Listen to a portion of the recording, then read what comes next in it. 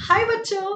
Hello everyone and welcome to a very important topic जो बहुत से बच्चों को बहुत ज़्यादा डिफ़िकल्ट लगता है that is life cycle of bryophyta अब ब्रायोफाइटा का लाइफ साइकिल सबसे अलग कैसे है या क्या अलग है उसमें ये देखेंगे, लेकिन उससे पहले आप और हम मिले हैं वेदांतु नीट मेड इजी पे तो इसी चैनल को फटाफट से सब्सक्राइब कर लो, है ना? वीडियो को लाइक कर लो नोटिफिकेशन का जो बेल आइकन है, उसको हिट करो and turn it to all ताकि आपको सारे नोटिफिकेशंस मिलते रहे। उसके साथ साथ वेदांतु लेके आया है। वेदांतु ऑनलाइन टैलेंट एग्ज़ाम जिसका पहला सीज़न खत्म सेकेंड सीज़न खत्म और अब आने वाला है हमारा third season this Sunday 11th April 3 PM sharp so stay tuned for vote on third April vote का benefit all India level exam plus live exam plus in depth performance analysis plus daily prizes plus trip to NASA and you can become my boss also for one day next कैसे करे vote तो हमने बोला पहले फटाफट से Vedantu app download कर लो और अपने आप को रजिस्टर कर। लो once you register yourself उसके बाद वोट के डे सिलेक्ट कर लो। अब तो सिर्फ़ दो दिन बचे, एक इलेवेंथ अप्रैल और एक एटीन अप्रैल दोनों दिन फ्री हो तो दोनों सिलेक्ट कर लो, एक दिन फ्री हो तो एक सिलेक्ट कर लो। नेक्स्ट अगर आप डाउनलोड नहीं करना चाहते हो then you can visit to vdnt.in slash vdntv ठीक है? अब, अगर आपको हमारे साथ पढ़ना और अच्छा लगता है, अगर आप चाहते हो कि आपके नीट का स्कोर और बूस्ट होना चाहिए so in order to boost your score in order to study biology and botany with me more in detail आपका physics chemistry biology eleventh and twelfth सारा सिलेबस क्रैश कोर्स में खत्म होगा in just one twenty sessions हमारा batch कल से शुरू हो चुका है दैट इज़ फिफ्थ अप्रैल से ऑलरेडी स्टार्ट हो चुका है। और इसमें पार्टिसिपेट करने के लिए नीचे नीचे नीचे डिस्क्रिप्शन बॉक्स में लिंक है। फटाफट जाइए एनरोल कीजिए, लेकिन भूलना मत।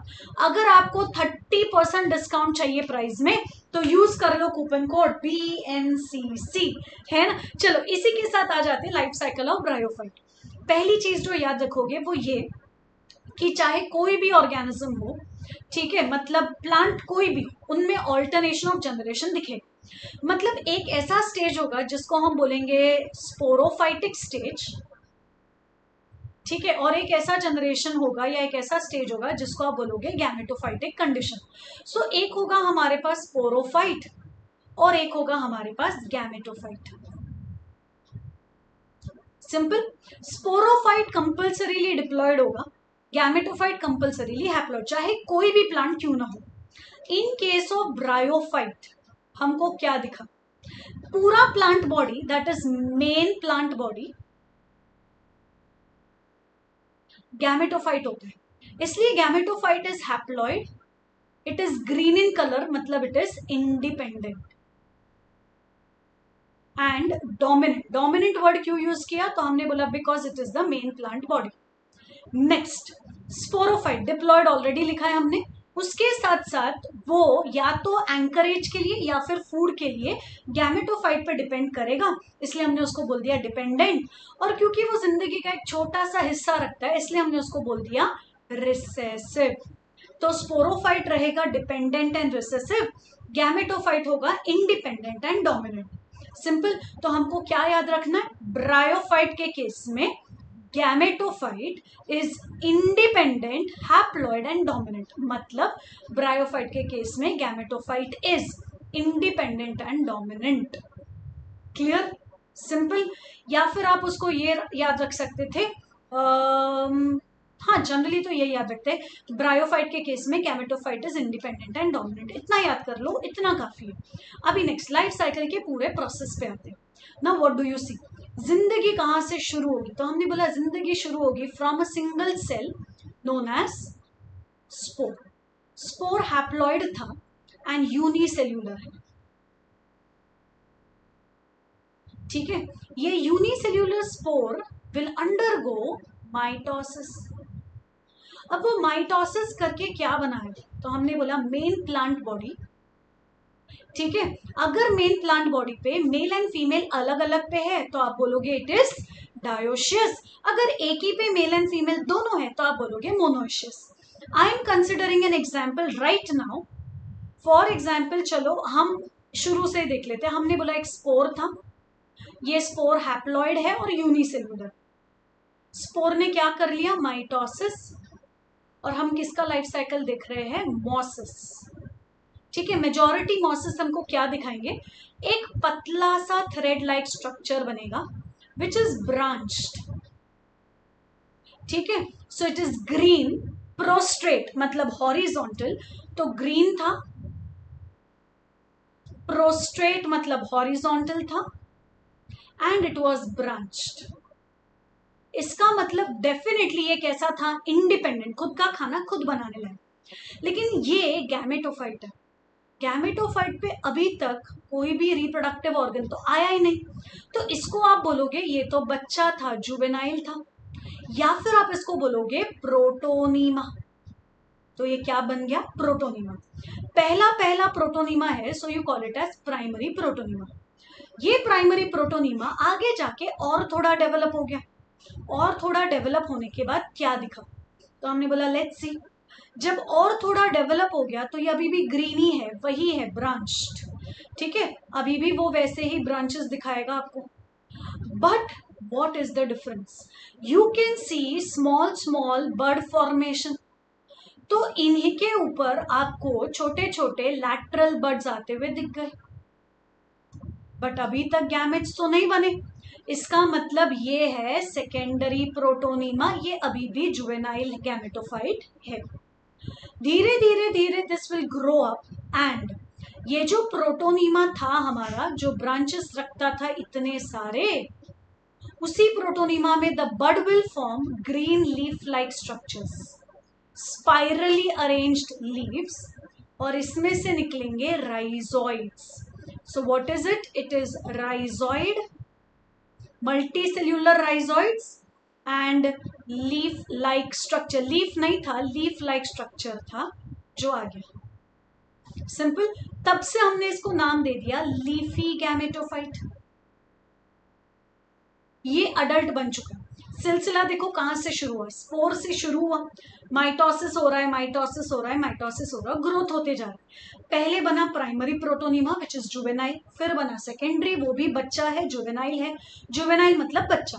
फिर उस पर लैटरल बर्ड्स वगैरह आ गया। अब बर्ड आया है तो वो ऊपर लीफ लाइक स्ट्रक्चर बनाएगा जो स्पाइरली अरेंज था और नीचे राइजोइड्स इसी लीफ के टिप पे, कहीं पे तो बनेगा antherozoid with the help of antheridium और ऐसा ही कोई और होगा हमारे पास लीफी स्ट्रक्चर जिसमें होगी हमारे पास फीमेल गैमेटोफाइट आर्चिगोनियम तो एट द टिप ठीक है tip of the leafy structure tip of the leafy structure हमको क्या दिखेगा? तो हमने बोला, किसी पे आपको मेल गैमेटोफाइट दिखेगा तो किसी पे आपको फीमेल सिंपल मेल वाले को हम नाम दे देंगे एंथरीडियम और फीमेल वाले को आप नाम दोगे आर्चिगोनियम सिंपल तो एक था हमारे पास एंथरीडियम ठीक है? एक था हमारे पास आर्चिगोनियम व्हाट हैपेंस नेक्स्ट तो हमने बोला, देखते आगे क्या हुआ। तो लीफ लीफ लाइक स्ट्रक्चर के टिप पे एंथरीडियम एंड आर्चिगोनियम आ गया। अब ये तो बन गए थे हमारे वो जैकेटेड कैमेटोफाइट्स इनके पास जैकेट वगैरह थे। अब क्या दिखेगा आगे? तो हमने बोला, आगे तो हमको ये दिखा कि ये जो आर्चिगोनियम था इसका शेप था फ्लास्क जैसा। ठीक है फ्लास्क शेप स्ट्रक्चर जिसमें से नीचे वाले पार्ट को आप बोलोगे वेंटर और ऊपर वाले पार्ट को आप बोलोगे नेक नेक में जो सेल्स होते हैं, उनको नेक कैनाल सेल्स बोलेंगे। और इसके अंदर हमारे पास था unicellular structure which is female gamete known as egg अब ये एंथरीडियम में से कौन बाहर आया? तो हमने बोला एंथरीडियम में से एंथेरोजॉइड बाहर आया। बारिश का सीज़न था, बहुत सारा पानी था तो एंथेरोजॉइड कौन आया बाहर? एंथेरोजॉइड और वो स्विम करते करते करते they enter inside the venter venter में एंटर किया, क्या होगा? तो हमने बोला फर्टिलाइजेशन और फर्टिलाइजेशन होने के बाद व्हाट विल हैपन तो हमने बोला फर्टिलाइजेशन होने के बाद एग एग नहीं रहेगा बट क्या बन जाएगा? तो हमने बोला, जब एंथेरोजॉइड प्लस एग का होगा फ्यूजन उस टाइम पे एग एग नहीं रह के क्या बन जाएगा? A single cell known as zygote what will happen next zygote करेगा माइटोसिस बनेगा एम्ब्रियो और एम्ब्रियो बनेगा sporophyte what will embryo form? Embryo will form sporophyte. Now, let us see how it will look like.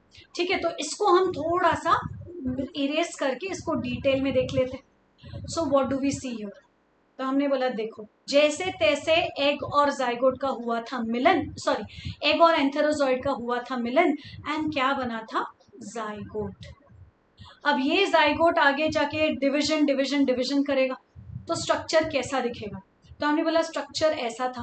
ये था आपका वो protonema with branches and all ठीक है? यहाँ था वो एंथरीडियम वाला लीफी स्ट्रक्चर जो अभी ड्राई होके मरने वाला है। यहाँ था वो आर्चिगोनियम वाला लीफी स्ट्रक्चर इसी आर्चिगोनियम वाले लीफी स्ट्रक्चर पे क्योंकि जाइगॉट ने किया था माइटोसिस और बनाया था आपका स्पोरोफाइट बनेगा फूट सीटा एंड कैप्स्यूल क्लियर क्या क्या बनेगा? तो हमने बोला फुट जो नीचे होगा, ये seta and this is known as capsule foot seta and capsule is the sporophyte तो जितना आपको ग्रीन में दिख रहा है, वो पूरा गैमेटोफाइट जितना हमने अभी अभी येलोइश कलर में बनाया, वो पूरा स्पोरोफाइट ये कैप्स्यूल जैसे ही मेच्योर हो गया यहाँ इसके पास माउथ होता है, वो ओपन होता है। अब अंदर क्या होगा? तो हमने बोला अंदर ना there are cells which are diploid cells okay they are spore mother cell they are spore mother cell this spore mother cell will undergo